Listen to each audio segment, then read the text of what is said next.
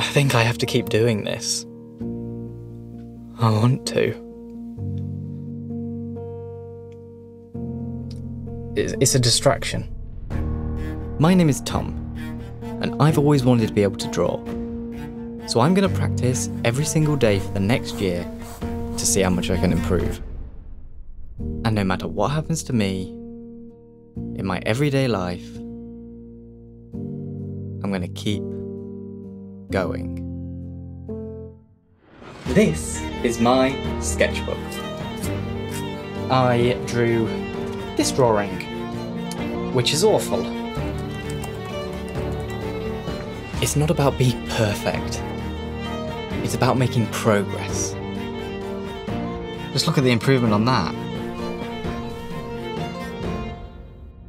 So, um, I'm not even a week into doing this and something bad has already happened. I'm not giving up.